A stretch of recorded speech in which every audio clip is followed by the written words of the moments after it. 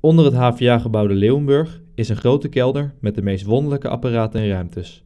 Maar wat gebeurt hier eigenlijk zo voor de zomervakantie? En waar zijn die apparaten voor?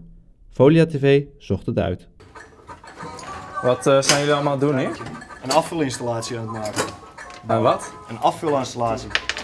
En wat vult die af? Hè? Wat vult die af? Ah, Calvé pindakaaspotjes voor 300 gram. Die moeten gevuld worden met eh, M&M's.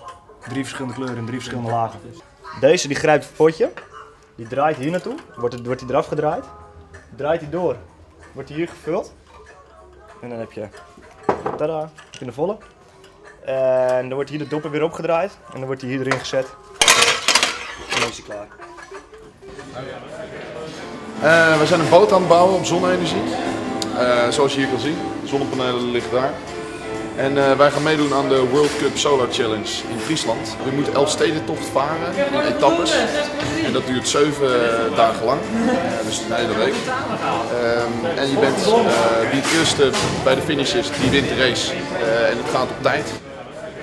En hoe, hoe groot schat je je kans dat je gaat winnen? Ehm, de kans is er altijd.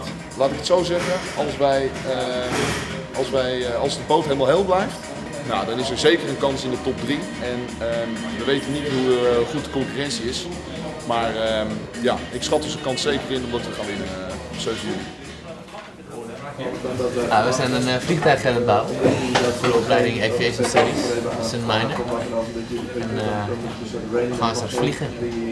Ja, het, uh, wordt een zweefvliegtuig, een motorzwever eigenlijk. Het kan vijf minuten klimmen en daarna gaan we, zetten we de motor uit en dan zo lang mogelijk in de lucht blijven. Wat we hier hebben is een uh, 120 graden buitenbeeld met uh, drie beeldschermen waarop de instrumenten worden aangegeven die als hulpmiddel fungeren om een veilige navigatie te voeren. 51, 58, 8 Noord. Wat zijn jullie nu aan het doen?